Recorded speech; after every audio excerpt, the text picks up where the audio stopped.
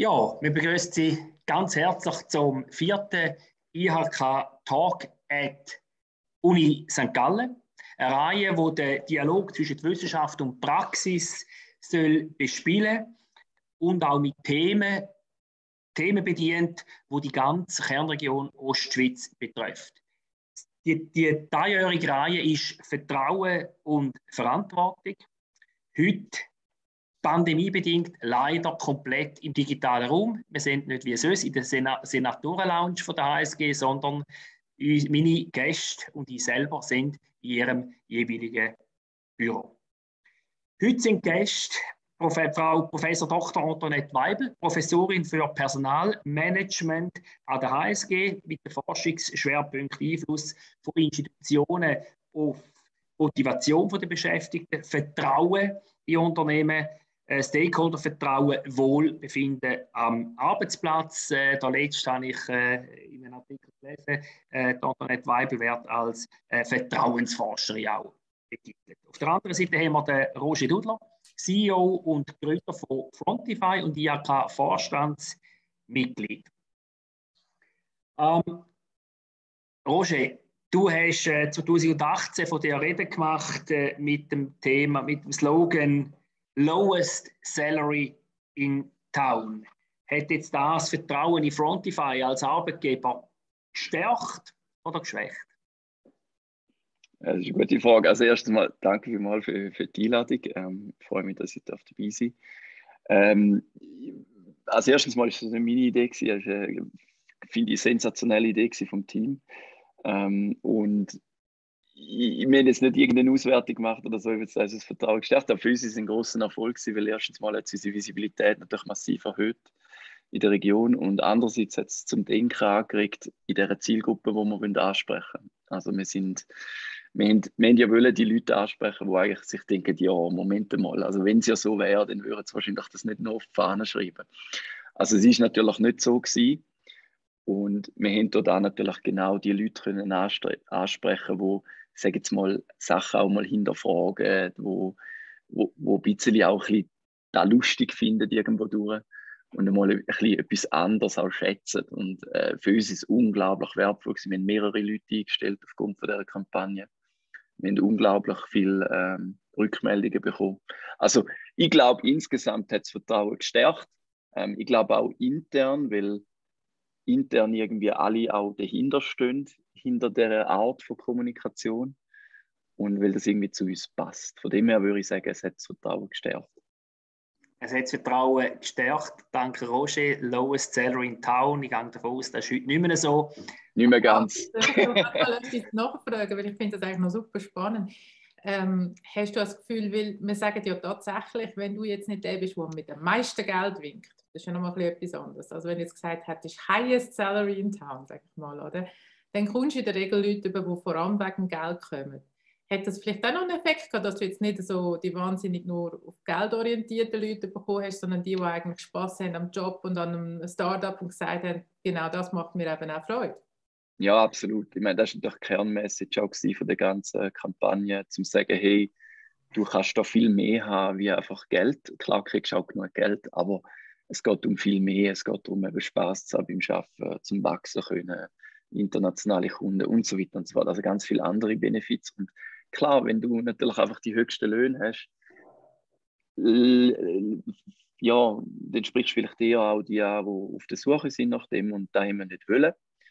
Ähm, und das ist, by the way, immer noch nicht so. Also es ist, ist, ist schon so, dass natürlich jetzt die Situation sich verändert hat, aber wir sind nicht der Ort, wo, wenn du jetzt wirklich willst, äh, nur eine Karriere machen fürs viele Geld, dann sind wir jeder falsche Arbeitgeber. Mhm. Also das ist, äh, das war schon die Key Message, die wir geben geben also ich habe oh. auch noch sehr vertrauensrelevant wird, aber jetzt bin ich ruhig, Markus. Ich Nein, das ist gut. Jetzt kurz an, Antoinette, jetzt äh, äh, the stage is yours. Du bist Vertrauensforscherin, äh, sicher hast du auch eine gewisse Vorbildaufgabe damit. Provokante Frage, Antoinette, arbeiten bei dir im Institut äh, die motiviertesten Mitarbeitenden von der HSG und die mit dem höchsten Vertrauen in die Vorgesetzten, ins Departement, in die HSG? ähm, ja, also ich gebe mir natürlich tatsächlich Mühe, das zu leben. Ähm, ich glaube, meine Leute haben wahnsinnig viel Freiraum und schätzen das auch. Manchmal ist es sogar so, dass sie mir sagen, sie haben jetzt viel Freiraum. Also wir haben auch immer ein bisschen die Diskussion, wo man vielleicht noch, noch darauf sprechen können, wie viel ähm, Führung braucht es, wie viele Leitplanken braucht es und wie viel Freiraum braucht es. Ähm, ich glaube, wir sind auch als Team, dass wir uns wirklich gegenseitig sehr vertrauen, dass wir sehr auf Augenhöhe sind.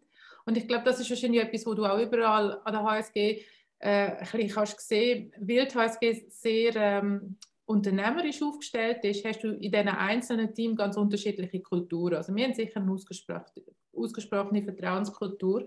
Aber der Nachteil von dem ist ein bisschen, und ich glaube, das sind wir gerade ein bisschen am Justieren, dass wir uns gar nicht so wahnsinnig mit dem großen Ganzen immer verbunden fühlen. Also vielleicht mit dem Brand, aber jetzt nicht so, dass wir gemeinsam alle zusammen die Uni ausmachen und gemeinsam noch mehr könnten reissen. Und ich glaube, da braucht es so ein bisschen jetzt auch nochmal, ähm, wir sind dran, ein, ein, wirklich einen Schub, dass wir auch als, als HSG sehen, die grossen Probleme von der Verantwortung, die wir da, glaube ich, auch schon diskutiert haben, ähm, die müssen an mir stemmen und wir wollen die auch stemmen. Und da wäre es eigentlich toll, wir würden noch ein bisschen mehr zusammenarbeiten und auch noch ein bisschen mehr Vertrauen über das Institut hinweg und in die gesamte Institution haben. Da sind wir aber dran, sage ich mal. Ja, also wenn ich da recht verstehe, du sagst HSG, wo sehr stark institutstrieben da auch wieder Erfolg ist von den letzten Jahrzehnten, ähm, dass sehr starke Institutskulturen hat, äh, auch bezogen auf das Vertrauen und dass er jetzt daran arbeitet, auch äh, noch mehr HSG, Corporate Culture ja. und damit das Vertrauen auch ähm, zu bilden. Hast du da eine besondere Rolle in dem Prozess? Äh, ja, also gut, ich meine, man versucht es immer wieder, ähm, aber es ist natürlich bei uns wirklich wie in einem Grossunternehmen, wo ganz, ganz viele Profitzentren hat. Die Leute haben auch selten Zeit. Also ich habe eigentlich von Anfang an versucht, mehr Netzwerke aufzubauen, sei es jetzt Frauennetzwerk, sei es jetzt, dass wir sagen, wir machen Themen zusammen, wo wir vielleicht noch nicht so gegen außen auftreten.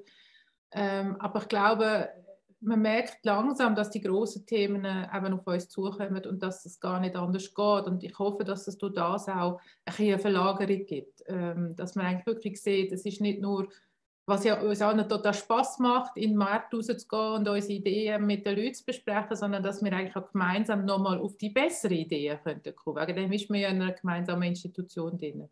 Also, mhm es braucht, wir versuchen es immer wieder ähm, über Netzwerkstärke. Jetzt machen wir gerade ein neues Seminar zusammen mit der Judith äh, Walls, wo es um das Thema Verantwortung geht, ähm, wo wir versuchen, PhD dort noch stärker mit reinzunehmen, damit die zumindest das machen.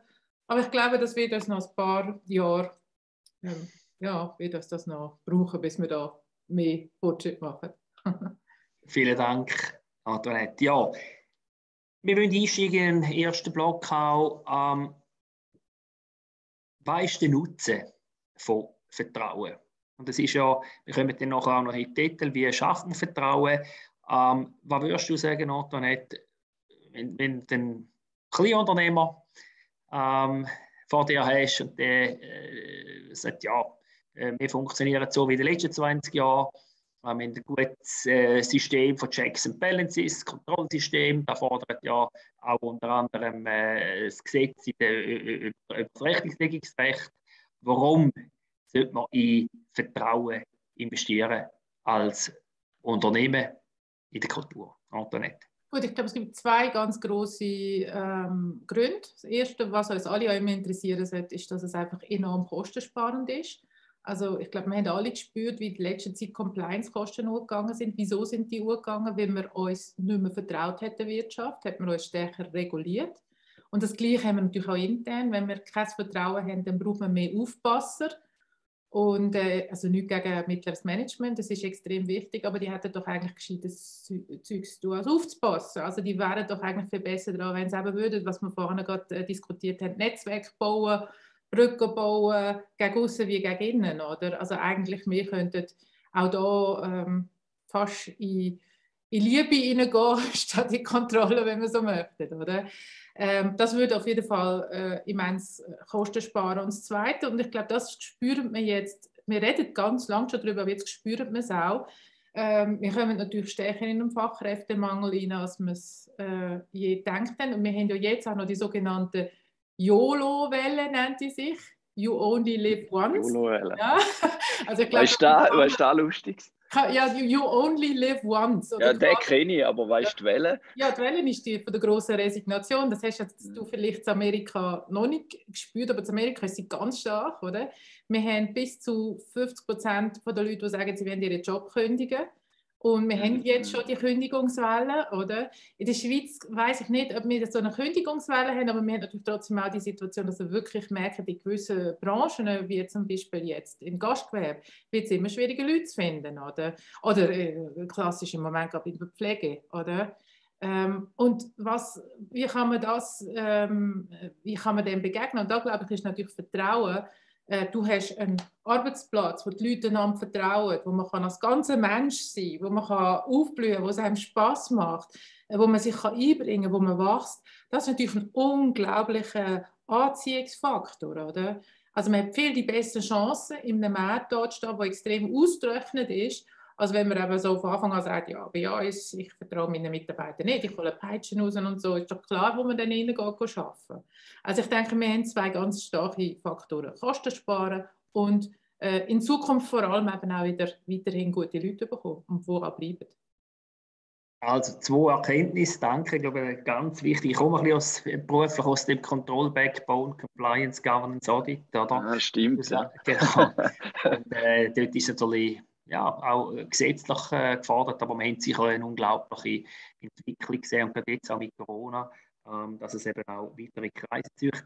Ich würde da damit gerne zu dir kommen, Roger, als IT-Unternehmen, Startup-Unternehmen, eines der bekanntesten St. Galler Startup-Unternehmen, äh, sehr modern, jung getrieben, ähm, ist Vertrauensbildung äh, und, und das Vertrauen geben in, deiner, in so einem Unternehmen wichtiger äh, oder anders wie in anderen Unternehmen? Ja, ich glaube, ich, ich glaube, es ist überall wichtig. Ähm, wieso ist es vielleicht wichtig für uns? Weil wir, wir haben ja am Anfang noch keinen Namen gehabt. Also wir haben ja eigentlich den einzigen Grund, wieso du, wieso solltest du irgendwie eine Hochrisiko äh, Firma quasi joinen am Anfang, wenn du nicht daran glaubst, wohin die Reise geht, oder? Weil normalerweise sind die Löhne am Anfang tiefer, du, du musst dich mit dem Ganzen können identifizieren. Also das heißt, wir haben von Anfang an müssen ein Umfeld bieten, wo halt modern ist, wo den Leuten viel Vertrauen gibt, viel Freiheit, viele Möglichkeiten zum Wachsen, genau das, was du gesagt hast, Antoinette. Ähm, und anders hätten wir gar keine Chance gehabt, um irgendwelche Leute zu finden. Jetzt sind wir mittlerweile ein bisschen grösser, mittlerweile 240 Leute. Ähm, und klar, jetzt ist es ein bisschen einfacher geworden, zum Leute zu attracten, aber es ist mindestens so wichtig, weil wir spielen natürlich in internationalen Arbeitsmarkt. Ähm, lokal ist es für uns fast einfacher, zum Arbeitskräfte gewinnen, weil wir uns eben da differenzieren von vielen anderen Firmen durch die Arbeitskultur. Aber im internationalen Vergleich, eben, sagen wir jetzt in den USA oder in anderen Ländern, ist es zum Standard geworden, oder?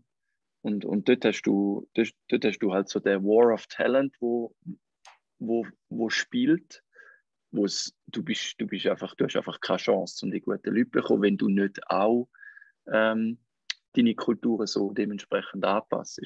Von dem her, ich glaube, wichtig gehen, weil wir, weil wir einfach am Anfang ist es umso wichtiger gewesen, jetzt ist es umso wichtiger, weil wir in einem internationalen Umfeld spielen. Ähm, aber ich glaube, es ist wichtig für jedes Unternehmen. Es wird zu einem grossen Problem, wenn man es nicht macht. Ähm, das, ist, das ist so ein meine, meine Erkenntnis. Also wir nehmen mit aus dem äh, kurzen Fenster, Vertrauen züchtet Talent an, ist ein Merkmal oder auch äh, ein USP in der, in der Rekrutierung. Gerade in einem, äh, in einem ausdrückenden Arbeitsmarkt. Fachkräftemangel herrscht äh, in der Pflege, herrscht äh, in, der, in der Gastronomie, vielen anderen Orten, IT, im Gewerbe, überall.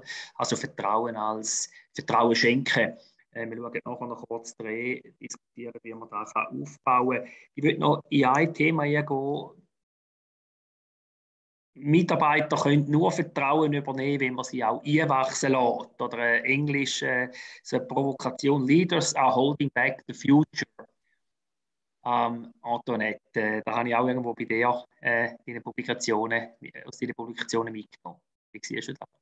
Ja, also erstens mal finde ich tatsächlich, irgendwo müssen wir ja anfangen. Wir sagen, wir wollen einen Arbeitsplatz, wo Leute können aufblühen können, wo sie können wachsen können. Das heisst das ja immer, sie dürfen die Verantwortung übernehmen, sie dürfen mitentscheiden, sie dürfen ähm, sich auch bewegen auf eine gewisse Art und Weise. Vielleicht sogar in einem Homeoffice, aber ich meine, das wäre ja nur ein Aspekt, wie man sich kann bewegen kann.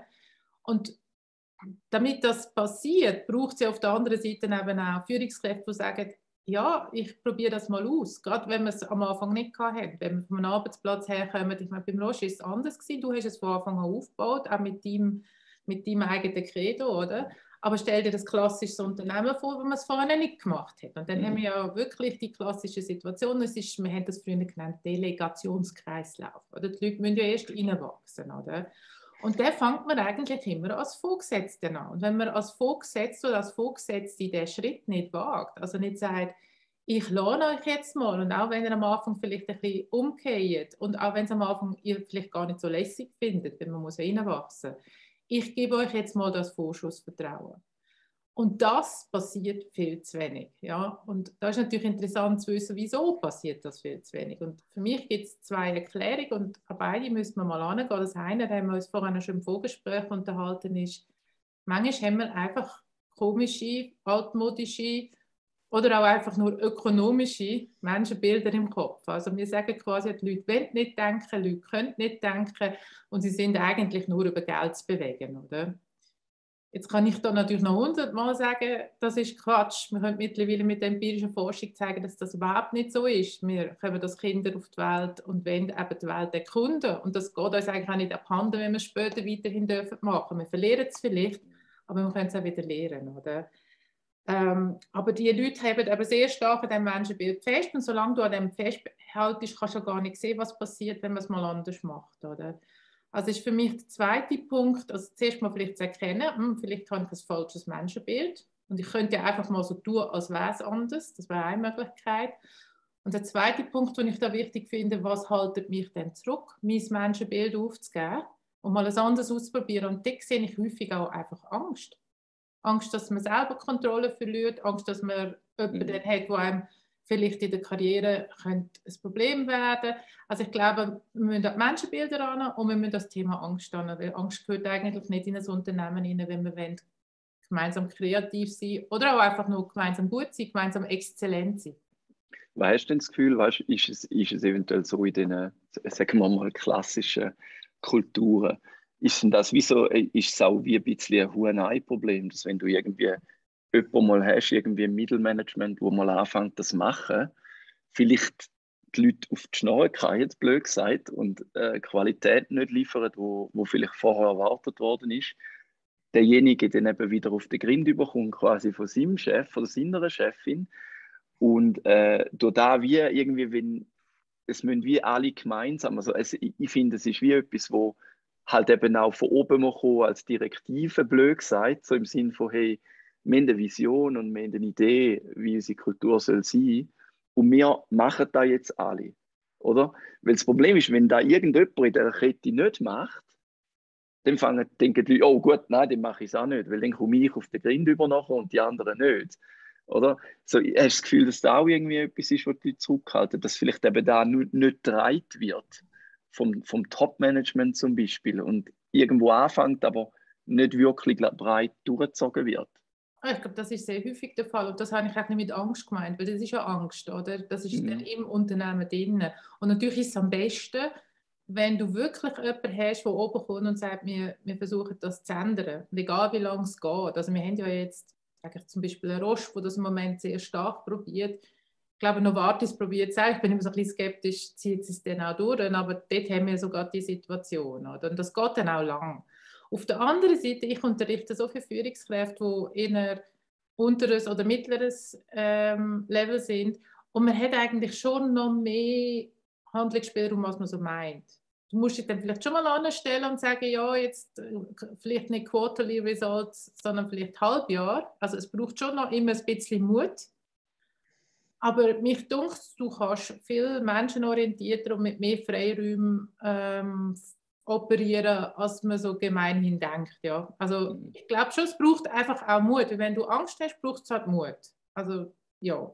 Und am besten wird es natürlich oben, aber das wird nicht immer passieren. Und dann die allerletzte Frage ist, kann man denn einen Wandel in einem Grossunternehmen, bei einem kleinen glaube ich kann man es, aber bei einem Grossunternehmen wirklich von unten initiieren, ja, in sehr seltenen Fällen gibt es das, ja, dass man irgendwo wie so eine, eine genügend große Masse Gleichgesinnte mit der Zeit hat. Aber es ist natürlich schwierig. Ich glaube, dort ist schon meistens, dass du es von oben auch wählen und auch unterstützen. Mhm. Also können wir mitnehmen, oder? Wichtig ist, dass die Vertrauenskultur wirklich das Abgeben von, von, ja, auch von Kompetenzen und äh, Reduktion ich sage, von physischen Kontrolle, äh, Kontrolltätigkeit wirklich auch der Spitze muss initiiert werden und auch tragen werden, oder dass eben auch das Mittelmanagement da versteht. Es gibt auf der anderen Seite, glaube ich, gibt es vielleicht auch die Möglichkeit zu sagen, ja, man kann durchaus in größeren Unternehmen da auf, auf Team, Abteilungsebene äh, initiieren, äh, in, in, auch in Eigenverantwortung. Oder? Da nehme ich jetzt so mit. Roger, meine Frage die ähm, du hast ganz ein neues Unternehmen, du hast keine historische äh, kein historisches Erbe, das mitnehmen Führungskultur, die vielleicht in den 60er, Jahren entstanden ist und aus den 80er Jahren geprägt ist.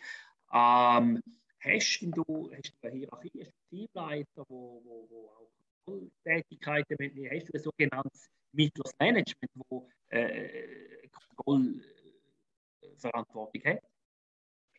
Ja, Kontrolle ist immer ein schwieriges Wort, glaube ich. Aber äh, grundsätzlich bin ich, äh, ich, ich glaube nicht daran, dass hier ohne Hierarchie funktioniert. Ich bin eigentlich, ich glaube, Hierarchie braucht es. Ähm, da merkt man spätestens, wenn ein Unternehmen größer wird. Ich glaube, wir haben mittlerweile, äh, was sind da, drei Levels. Drei Levels von Führungsleuten ähm, und noch eine, also im Prinzip insgesamt vier mit den Mitarbeitern, oder? Das sind so ungefähr die Levels. Manchmal jetzt noch sogar noch mehr. Aber ich, ich, ich versuche eigentlich irgendwie so durchzugehen. Ähm, ich glaube, du kannst nicht mehr als irgendwie acht maximal Leute ähm, managen. Schlau, und zwar in Bezug auf den ihre Weiterentwicklung, eben das Vertrauen geben, aber auch schauen, dass das Resultat trotzdem stimmt. Oder? Ich glaube, ein gewisses Performance-Management ist trotzdem notwendig. Ich glaube, ähm, eben dann gibt es kulturelle Unterschiede, wo wir vielleicht noch darauf eingehen. Das ist nicht jedem Land gleich. Du kannst nicht überall, musst ein bisschen auf das Individuum eingehen, oder? Du nicht, kannst nicht mit allen gleich umgehen. Ähm, und von dem her, ich glaube, ehrlich gesagt, ich bin gar kein Fan von diesen hypigen Strukturen, wo irgendwie so selbstdefinierend, Holocracy und so weiter. Ich glaube, Hierarchien braucht es. Ähm, das muss aber nicht gleichbedeutend sein mit, ich habe da irgendeinen Chef, der sagt, wodurch das geht und niemand anders kann entscheiden und so weiter, sondern wir haben eine extrem große ja, Demanding-Kultur die fordert von jeder, jeder Mitarbeiterin und jedem Mitarbeitenden, dass sie auch das Ganze steuern. Und ich glaube, ein, ein Leader, ein guter Leader oder eine gute Leaderin ist dazu da, um die Leute enablen und um sie ermächtigen und um sie begleiten auf dem Weg, äh, den Job können zu machen und nicht zu kontrollieren. Aber klar, irgendwo durch auch schauen, dass der Output stimmt, gehört auch dazu. Nur rennen lassen und nicht schauen, ob man noch als richtiger Ort rennt, ist auch falsch. So, das ist so ein bisschen meine Sicht. Ja, spannende Aussage, Roger. Oder, ähm, Hierarchien braucht es. Äh, Hierarchien heisst aber auch damit nicht, äh, kein Vertrauen zu haben. Das führt mich ein bisschen zu einem Thema, ähm, wir kommen noch auf die Rolle der Führungskräfte zurück. Antoinette, hast du das Gefühl, es gibt ähm, gerade so in traditionellen älteren Strukturen mittlere Management-Ebenen, wo ihre Hauptaufgabe in der, in der Kontrolle, im, im Überprüfen, im Kontrollieren sehen? Gibt es das noch? Ja, das, ich glaube, das haben wir ja vorhin schon ein bisschen angesprochen, das gibt es ganz definitiv noch. Das hat eben etwas mit dem zu tun, äh, wie man eben auch Hierarchie versteht und wie man Rollen versteht. Also ich habe jetzt das eine sehr spannende Aussage gefunden von Roger, der ja auch noch relativ ein junger Mann ist. Äh, wenn ich ja, er sieht jünger aus, als ich bin. Du siehst halt jünger aus, als du bist, aber das ist eine sehr reife Aussage. Ich glaube, bei der Hierarchie ähm, ist eben entscheidend, wie man sie lebt. Oder? Ich mag mich immer an Dani Weder erinnern, äh, wo immer gesagt hat, er hat eine umgekehrte Hierarchie. Also er steht quasi unten und die Mitarbeitenden stützen und unterstützen. Oder? Und das ist natürlich eine ganz andere Idee von einer Hierarchie. Und dann denke ich mir, ist es natürlich genau richtig, Roger, was du sagst. ähm, wenn du dann plötzlich 50 Leute musst führen dann kannst du das nämlich nicht mehr. Dann kannst du niemanden stützen und unterstützen. Und, und durch das gibt es ja automatisch ein eine steilere Hierarchie, weil du sagst, wir wollen kleine Teams haben. Und ich finde es überhaupt gar nicht problematisch, wenn man es eben so sieht. Es geht ums Enablen und es geht auch um Richtlinien setzen. Also wenn eine Kontrolle Richtlinien setzt, wenn eine Kontrolle auch sagt, ich sage manchmal einen Haken um den Ponyhof, den man macht, dann ist das etwas, was es auf jeden Fall braucht. Das, das gehört dazu. Oder? Ähm, weil es gibt manchmal Situationen, wo man nicht die Leistung kann bringen kann, die sie sollte, etc. Und auf das muss man auch können reagieren oder? Also ist wahrscheinlich auch so, dass ähm, äh, es ist auch ein Learning irgendwo durch, dass, dass eben nicht, nicht, nicht jede Person irgendwie den gleichen Anspruch hat an Freiheit und, und eben auch nicht gleich gut kann damit umgehen oder? Also darum, darum glaube ich, braucht es, manchmal ist es so, dass eine Person gar nicht erst mit zu viel Freiheit wird, also, äh, wird leben, oder? Also, manchmal braucht es ein bisschen mehr Leitplanken, ein bisschen mehr Guidance, bei anderen braucht es mehr Freiheit. Und ich glaube, da ist, da ist da, wo viele vielleicht auch noch nicht so ganz begreifen, dass man nicht einfach kann sagen ich mache entweder eins oder null. Sondern es ist halt, äh, ich meine, Führen ist, ist sehr eine menschliche Aufgabe, oder? Ich muss auf jede, jede Einzelperson wirklich gut können eingehen und die Person verstehen und begleiten und dann, dann kann ich das spielen, oder? Und äh, so, so, so dann wirklich ähm, jeder Mitarbeiterin, jedem Mitarbeiter auch da geben, was sie brauchen in dem Moment. Ja. Das, also ich würde es wirklich gerade nochmal aufnehmen, weil ich finde es äh, super, super spannend. Ähm, und genau das ist ja dann kannst du auch Performance Management machen, wie du vorhin gesagt hast. Also dann kannst du all das machen, wenn du das als Führungskraft, vielleicht irgendwann auch als Team, manchmal kann man als Team sich selber führen, genau die, die wie, wie, wie man mit den Einzelnen im Team umgehen, wer steht wo, wer braucht noch Hilfe, wo kann man die Leute einsetzen, wenn du das viel, viel stärker machst. Also, und das haben wir ja auch im modernen Performance Management, geht es ja mehr in die Richtung. Oder? Wir versuchen mehr miteinander zu reden, um herauszufinden, wo drückt der Schuh, wir Ziel mehr auf Teamebene definieren etc. Aber ich hätte jetzt geschwind den Bogen machen, wenn du aber die 50 Leute hast dann, und niemand mehr die Zeit hat, das zu machen, dann delegierst du die wichtige Führung an sowas wie HR und Performance Management und dann glaube ich, wird es wirklich schräg, oder? Weil dann tun wir Kontrolle in die Systeme hineinpacken. Dann machen wir Rüebli, weil die Leute ja sich sonst nicht anstrengen. Wir machen irgendwelche Rankings, weil wir müssen ja irgendeinen Wettbewerb schaffen, sonst machen die ja nichts, oder? Außerdem ist Ranking einfacher als Leute begleiten und genau anschauen, oder? Also ich glaube, es hängt wahnsinnig mit dem zusammen, dass du dir wirklich vorne überlegst, wo, wie, wie kann ich eigentlich Führung so organisieren, dass sie das kann leisten kann, was sie sollte, nämlich das unterstützen, aber auch das genau anschauen, aber beides, oder? Ich finde das einen ganz schönen Punkt. Und das hat dann aber wieder viel mit Vertrauen zu tun, weil dann bist du im Vertrauen drin und musst dich nicht auf das System verlassen, das von Anfang an Misstrauen ins Ganze hineinbringt. Weil versuch mal Vertrauen aufzubauen, wenn du mit ganz grossen Boni winkst. Ganz schwierig, weil dann gehen die Leute nur auf die Boni los. Wir kommen da damit gerade ein neues Thema ein, oder? Also institutionelle. Boni. Nein, das passt bestens. Ja, Boni, also institutionelle äh, Kontrollen, oder? Also das Delegieren raus von, von der Kontrolltätigkeit auf, ja, vielleicht auf der Motivation, das System, Performance Management, auch HR und so weiter. Ich würde noch ein Thema, oder bitte da noch abschließen. Dafür hätte es jetzt ein bisschen darauf geführt, oder die Führungskraft im Zentrum zu führen, oder aber ich, und ich habe meine Führungsausbildung so in den Anfangs 90er Jahren angefangen, bin ja schon ein älterer Herr. Ähm, und, aber da hat schon, der, mag mich eine zentrale Aussage erinnern, oder? Äh, führen heißt dienen, oder? Das ist eigentlich da, oder? Also das Verständnis, das habe ich immer vorgehört, oder? Also das Mittlermanagement, wo ja dann vielfach irgendwo sich auch die Kontrollaufgaben nie gerettet hat, meine Erfahrung, oder? Ähm, sondern der meiste Rolle von der, von der Führungskraft. Mit der Art vor allem die Mitarbeitenden beleuchtet, aber auch, auch Führung, Mittels, Mittelmanagement ist ja, sind, Führungs-, sind, sind Mitarbeitende. Ähm, und da nehme ich so ein bisschen mit aus dem Gespräch, also zwei Rollen von der Führungskraft, ob man jetzt drei Hierarchieebenen hat, ob man eine hat, oder eben führen, bin ich schon überzeugt, führen heißt dienen, Coaching, Enabling, Rahmenbedingungen bereitstellen und sich nicht als in die Zukunft schauen, neue Systeme entwickeln, ähm, und so auch automatisch Vertrauen geben äh, ins Team. Ich weiß nicht, Hat doch, könnt ihr euch das vorstellen, die Entwicklung, oder? Ja, ich glaube, ja, ja, absolut. Also das äh, sehe, ich, sehe ich genauso. Du? mhm, mhm. also, die Frage ist ja eher, wieso, wenn du das in den 90er Jahren gelernt hast, wir das immer noch nicht machen. Das ist eine Frage, oder? Und ich glaube, ja, also wir sehen jetzt Ausnahmen, es wird gemacht, ähm, aber da sind wir wieder zurück damit, haben wir überhaupt Zeit, es zu machen? Ist unser Team einer Größe, wo wir es noch machen? Werden wir unterstützt von den Strukturen, von den Instrumenten vom Unternehmen? Ich glaube, das ist sehr wichtig. Und vielleicht noch das Letzte, wer holt man denn in Führungspositionen? Es gibt einen wunderbaren TED-Talk, der heißt, warum so viele inkompetente und über selbstbewusste Männer zu Führungskräften gemacht werden. Ja, es sind jetzt in dem Fall Männer, weil bei Frauen wirkt es ja abstoßend, wenn wir ähm, über selbstbewusst sind. Wir werden dann nicht mehr befördert. Oder? Ähm, und das Interessante ist, es sind zwei Gründe. Wir stehen auf den auf der starken Mann, also nicht auf den dienenden Mann. Und zwar wie die unten wie die oben, oder? Ähm, und das Zweite ist, wir verwechseln Selbstbewusstsein mit Gescheitheit und emotionaler Intelligenz.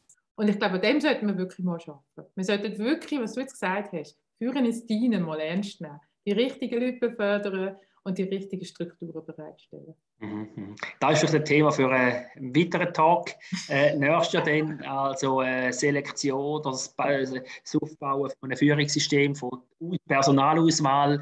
Ähm, ich sehe, wir haben da ein paar Themen offen und äh, für, für das nächste ja, ich würde jetzt noch einen Aspekt äh, ansprechen. Wir haben vorher, du hast einen guten Satz gesagt, ähm, Antoinette.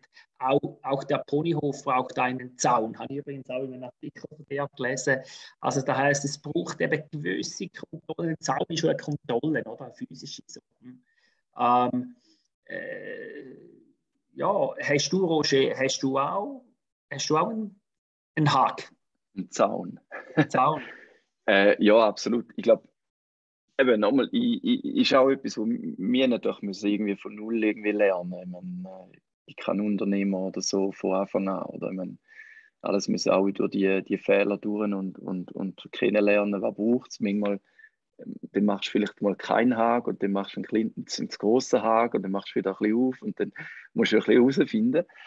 Ähm, was, was ich festgestellt habe, ist einfach so ein bisschen, ähm, es braucht mehr einfach, ähm, einfach Guidance, also so ein bisschen äh, Leitplanken mehr. Es ist, glaube ich, nicht so ein klarer Haken, sondern mehr so ein bisschen, du, da solltest du schauen, dass du ein bisschen links gehst und da ein bisschen rechts.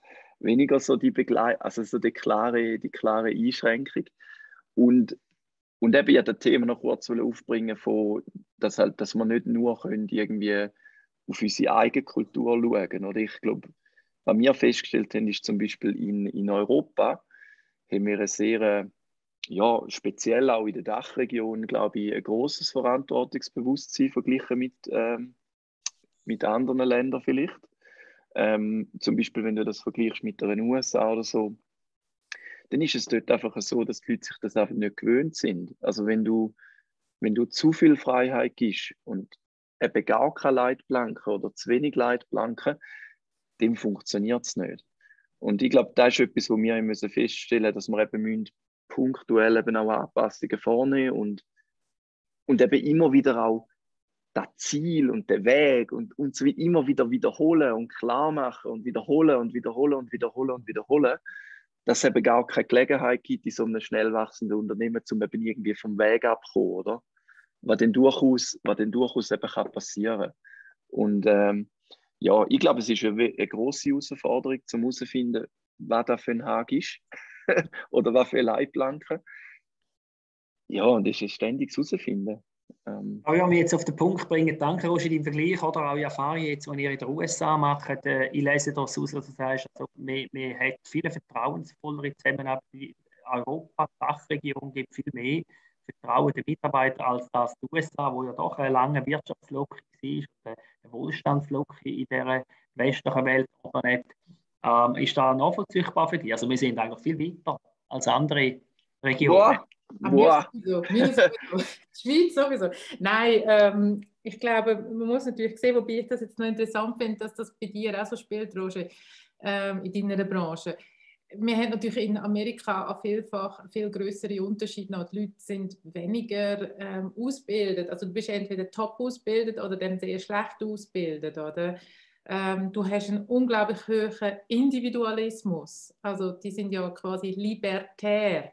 Gut, das haben wir in der Schweiz manchmal auch. Ich wollte jetzt nicht darauf eingehen, aber es ist quasi, komme ja nicht, sagt man ja nicht, oder? Auf eine mhm. Art. Und darum ist natürlich das Amerika von heute schon eins. Also es gibt ein schönes Buch von Robert Putnam, der sich eigentlich mit sozialem Kapital, also mit Vertrauen in der Gesellschaft auseinandergesetzt hat. Und er hat gesagt, ähm, sie sind von einer We Society, also die haben das auch gehabt, das Gemeinschaftsgefühl, das wir in Europa in der Schweiz, wo sehr kleinräumig ist, glaube ich, immer noch haben, wo uns ja dann ein bisschen verpflichtet, glaube ich, oder? Ähm, zu einer sehr egoistischen I-Society. Mhm. Und ich glaube, das ist natürlich ein Grund, warum vermutlich man dort auch mehr mit Regeln schafft auf eine Art und, und, und irgendwie gewisse Sachen eben auch anders gehandhabt werden, als wir das gewöhnt sind, oder? Weil sie eben wie den Hintergrund nicht haben. Aber das ist jetzt rein, also ich meine, es ist jetzt rein von, von, von weitem geschossen. Ja, ja es, ist, äh, es ist eben noch spannend. Es ist, meine, meine Beobachtung ist eigentlich eher so, dass ich glaube, das Vertrauen und die Freiheit wird eingefordert. Ja. Zu 100 Prozent. Also genau gleich wie da auch.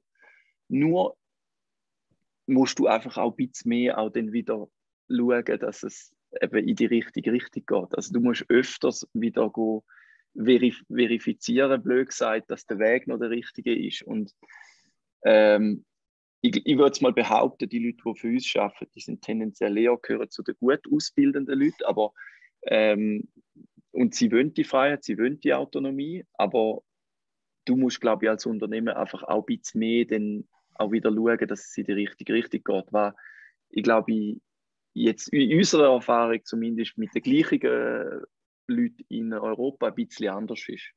Ähm, das, das, würde eigentlich gut mit dem zusammengehen. Also die, einerseits sind sie das gewöhnt, dass jeder alles für sich machen darf, oder? Und was sie aber nicht mehr so haben, ist, dass man in einer Gemeinschaft ist und dass man dort sich auch muss. Ja, absolut. Und man sieht, man, man kann das Thema, das du vorhin gebracht hast, oder ich, finde es ein schönes Beispiel mit, äh, mit der Boni, weil, weil wir, glaube ich, ein schönes Beispiel sind vom Realisieren ein bisschen. Wir haben ja eine sehr lange Kultur von keinerlei ähm, Sales Commission gefahren, oder?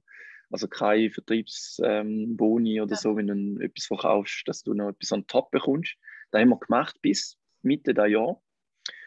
Und in den USA können wir einfach keine Leute einstellen, ganz einfach. Mhm. Weil in den USA funktioniert das Modell einfach anders. Ja. Du, kannst, du kannst noch lange probieren, anders zu sein und das geht auch, aber du kommst einfach nicht die gleich guten Leute über, ganz einfach. Mhm. Und da ist auch stark in der Kultur drin. Mhm. Ähm, da lernen sie von Anfang an und sie sind auch viel mehr karrierenorientiert, viel mehr Sie wollen immer wissen, was ist meine nächste, meine nächste Promotion, oder? Mhm. Ähm, sie arbeiten auf da. Mhm. Es ist in den USA viel schwieriger, nur den Sinn zu haben. Weißt du, was ich meine? Also, es ist so ein bisschen, ich finde, in Europa ist es einfacher, wenn du einfach sagst, hey, wir haben eine Vision, wir wollen hier hin, wir wollen gemeinsam eine gute Zeit haben und da. Und jeder gibt jede das Maximum, oder? Cool in den USA lange das wie nicht. Oder du kannst nicht einfach sagen, ja, wir sind eine coole Firma und wir haben einen coolen coole Purpose oder eine coole Vision. Das lange nicht, sondern das andere braucht es auch on top.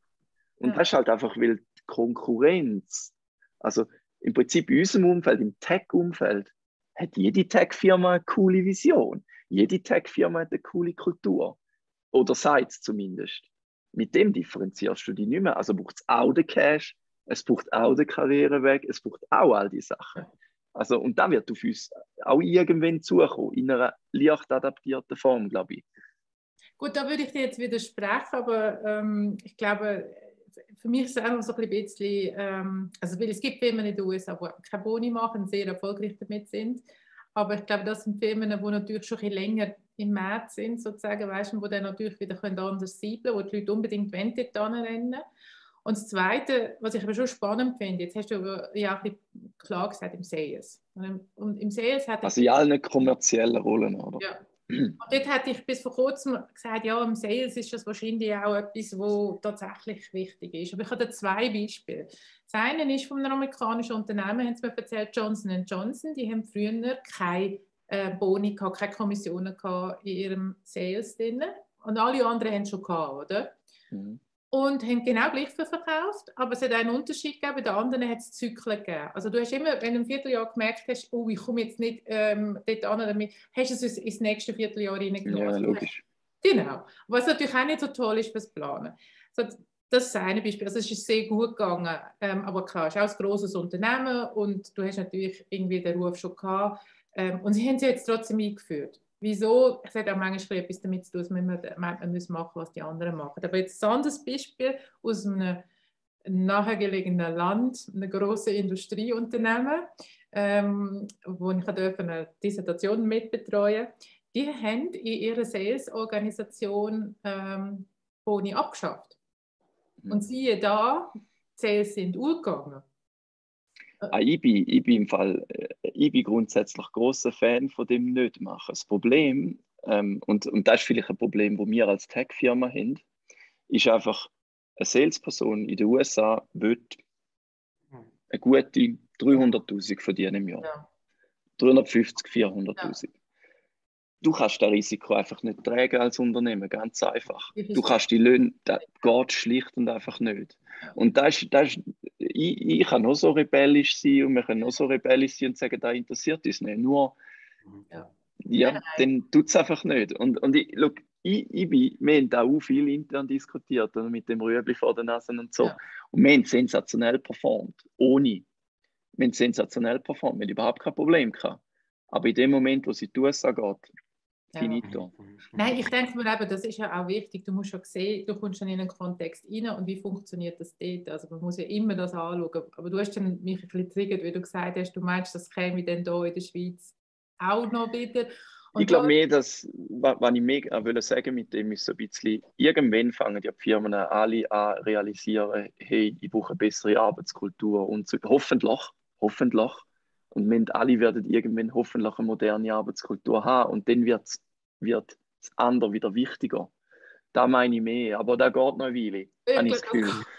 Also wir sind mitten in einem, fast wie zwei anderen Themen, wir sind im Thema äh, Incentivierung, Bonifikation, oder? Ähm, aber sehr wohl ist das Thema natürlich, äh, hat es einen grossen Konnex mit dem Vertrauen, dass man wie, äh, vielleicht mhm. über Bonifikationssystem nehme ich jetzt mit, oder auch einen gewissen Sinn kann, ja, ist vielleicht fast ein Substitut fürs Vertrauen, weil Zahlen wären jetzt nicht richten. Oder?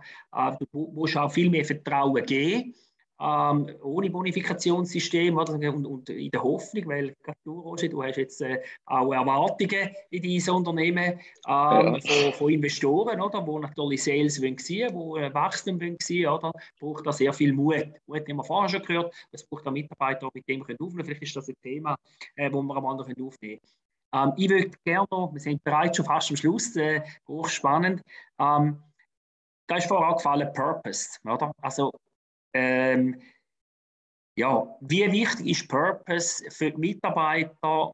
Ähm, wie, wie, wie, wie zählt der Beitrag vom Unternehmen zum Allgemeinwohl in der Denke von, von Mitarbeitern? Hat sich da etwas verändert? Äh, weißt du da eure Sicht, wenn ich der Ball gehe, Antoinette? Ähm, ja, also ich, ich habe ja meine Forschung in der letzten Zeit ein bisschen ähm, in eine andere Richtung gelenkt. Mich interessiert tatsächlich nicht nur die Purpose-Driven Organization, sondern mich interessiert eigentlich, wie können Unternehmen wieder zu guten Unternehmen werden. Ganz kurz, was meine ich damit? Ich glaube, es gibt fast keine bessere Erfindung von Menschen, als in einer Organisation zusammenzuarbeiten. Wir können gemeinsam so viel mehr leisten als alleine aber wir machen es nicht immer für gescheite Sachen. Und ich glaube, das wirklich zusammenzubringen, also nicht nur jetzt noch mehr Konsum und noch mehr Verschmutzung und noch mehr Wachstum und was, was die tollen Investoren, die du vorhin gesagt hast, scheint alles wollen, sondern quasi zu sagen, wir machen da wirklich etwas Gutes. Wir tragen zum Allgemeinwohl bei. Das finde ich ganz unbesehen davon, dass wir wahrscheinlich durch das auch bessere Mitarbeiter bekommen, einfach an sich einen Wert. Und das möchte ich sehr hochhalten. Ist, ist ist vielleicht ein Teil von dieser Purpose-Diskussion. Ich glaube, da werden wir gerade den Roschik hören, der sich sehr viele spannende Gedanken dazu gemacht hat. Aber für mich ist das eigentlich fast auch nochmal eine Verpflichtung, die wir haben. Ich finde, wir sollten wieder zurückkommen zu dem Ideal vom ehrbaren Kaufmann oder der Kauffrau. Und da gehört das für mich dazu. Genau, der ehrbare Kaufmann, da ist schon eine Publikation, gell, ganz eine alte, ähm, äh, wo jetzt zusehends wieder äh, zitiert wird. Ja, Roger, du hast gesagt, bei dir Purpose oder äh, alle Tech-Unternehmen, moderne Start-up, äh, arbeiten an dem Hidden Purpose. Wie wichtig ist ähm, das Vermitteln und äh, von, von Purpose für, für dich in deiner Arbeit äh, mit deinen Mitarbeitenden? Ja, mega wichtig. Ich glaube, ähm, wir, wir versuchen eigentlich immer ein bisschen zu verstehen, finden die Leute das sinnhaftig, was sie tun.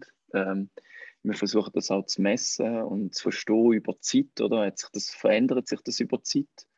Ähm, und ich glaube, da, was du gesagt hast, oder jede Tech-Firma hat einen Purpose. Ja, irgendwo durch vielleicht schon, aber die Frage ist immer, ist es auch etwas, was irgendwie meaningful ist oder relevant ist für die Leute? Ähm, ich glaube, auch viel, ähm, und da, da geht es in den Bereich, wo wir, sag mal, äh, stark sind, das ist Markenmanagement.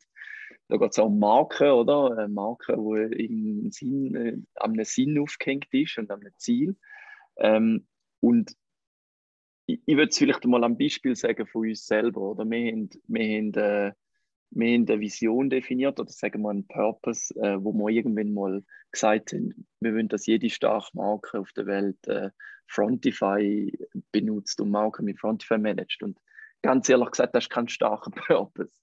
Äh, weil, wieso, das ist irgendwie nicht relevant für die Leute. Und die Übung, die man eigentlich machen als Unternehmen, ist eine Art mit den Leuten reden oder die Leute fragen, was ist denn da, wo die antreibt, was ist denn da, wo du spannend findest, was ist denn da, wo du, ähm, wo du findest, ist anders da als am anderen Ort. Und das ist ein Teil von der Markenstrategie, wo, wo die Vision dazugehört und haben die Übung dann auch länger gemacht, mehrmals.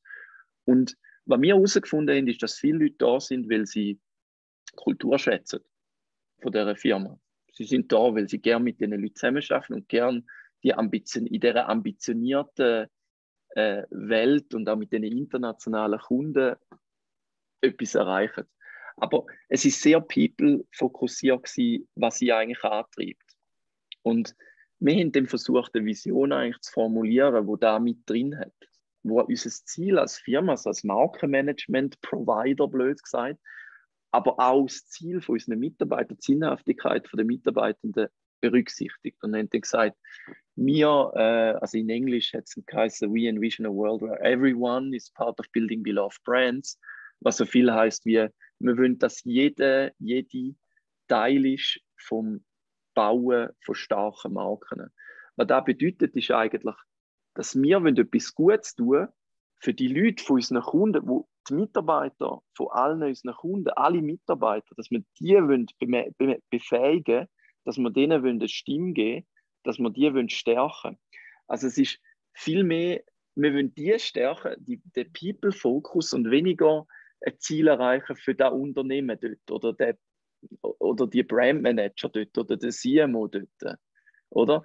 Und da hat mega viel gemacht mit den Leuten, oder? Weil sie sich super gut können mit dem identifizieren Jetzt habe ich mega lange geredet, aber genau. ich glaube, es ist mega interessant äh, ein Beispiel. Da will mich grad, genau, also ich habe jetzt da so verstanden, oder, äh, hinter einem Purpose fest geschafft, oder, wo am Schluss der Purpose ist eben die Menschen dort äh, zu unterstützen, oder nicht genau. Unternehmen. Würde mich fast ein bisschen an Anfang führen, ähm, auch von der Antoinette, wo ja auch ein Ziel ist, also humanzentriertes Personalmanagement, vielleicht noch äh, auch also der Mensch, der Mensch im Zentrum ein Schlusswort von der Art, wir ein bisschen auf die Zeit schauen. Ähm, von der nachher der Roger. Und wir kommen wirklich in noch zwei, drei Minuten.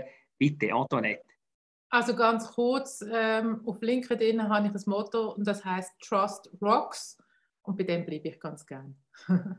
Trust Rocks. Roger, danke. Antoinette, dein Schlusswort. Äh, äh, Roger, hä? Meinst du? Äh, Roger, Entschuldigung. Aber ist okay. Als Schlusswort von mir auch. Ich habe vorher so lange geredet. Ähm, ja, ich, ich fände es schön, schön, wenn wir äh, in der Ostschweiz Vorreiter wären, zum ähm, ja, mit modernen Führungskräften coole Arbeitskultur können aufbauen. Glaube, das ist eine riesige Chance. Äh, Riesen, cool. Chance, vertrauensbasierte Arbeitskultur weiterentwickeln, wiederbeleben, was es vielleicht schon mal gegeben hat. Mhm. Vielen, vielen Dank, Antoinette Weibel. Ähm, für die äh, spannenden Inputs, Insights, Roger. Wir gestreift von Leitplanken, Freiraum geben, YOLO haben wir gehört, Fachkräftemangel, wo, wo wir alle erleben als Unternehmer, wo eben Vertrauen geben kann ein wichtiger Treiber sein für, für äh, Attraktivität des Arbeitgebers. Wir haben We-Kultur gehört versus Individualismus. Ähm, das Thema Führungskräfte oder weißt Rolle, wir äh, nutzen Ausdruck führen heißt dienen, bis zum Thema Vision, Mission, Kultur, Purpose. Ich nehme mit ein paar Themen mit. Wir haben viel Stoff für IAK-Tag von nächstes Jahr, geschätzte Damen und Herren. Es geht äh, nach der Sommerferie weiter. Wieder eine, äh, eine Reihe. IAK-Tag äh, HSG. Äh, wir werden Sie informieren. Vielen, vielen Dank fürs Zuhören im Publikum. Antoinette, vielen Dank. Roger, vielen Dank. Alles Gute. Danke. Danke.